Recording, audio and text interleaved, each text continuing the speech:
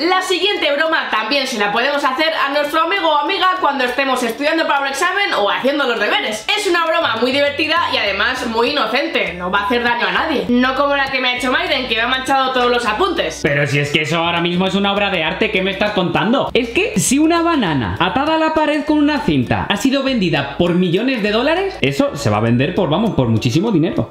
¿De qué hablas? Esto parece un cuaderno de una peli de terror. En fin, que para esta broma tenemos que agarrar el estuche de nuestro amigo o amiga, que en este caso es como un bol de palomitas, y cogemos su borrador. Es recomendable que utilicéis un cuaderno o algún tipo de base porque lo que pondremos encima a lo mejor pringa un poquito. ¿Y qué es eso pringoso de lo que estamos hablando? Pues nada más y nada menos que esmalte transparente, como el de las uñas. Eh, ah, que no es de uñas. Eh, este sí, laca de uñas de alto brillo. Tenemos que abrir el bote de esmalte transparente y una vez abierto, con cuidado de que no se nos caiga mucho, vamos pintando el borrador. Bueno, pintando, echando el esmalte. Uf, cómo huele a uñas.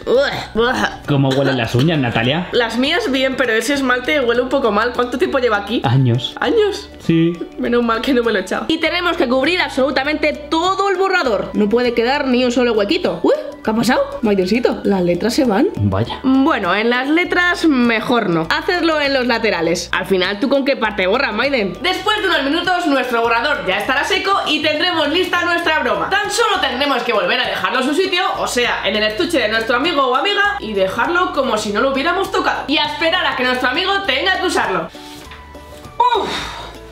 ¡Uf, Natalia! Casi atasco tu baño. He hecho pos, ¿eh?